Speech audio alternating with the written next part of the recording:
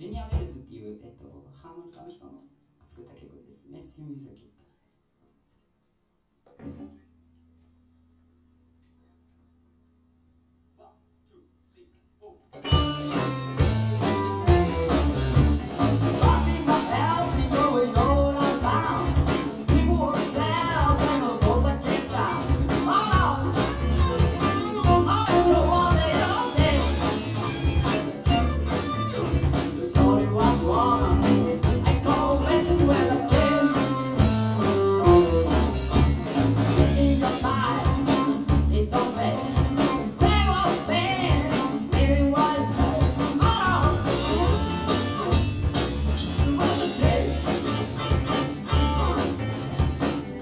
was one.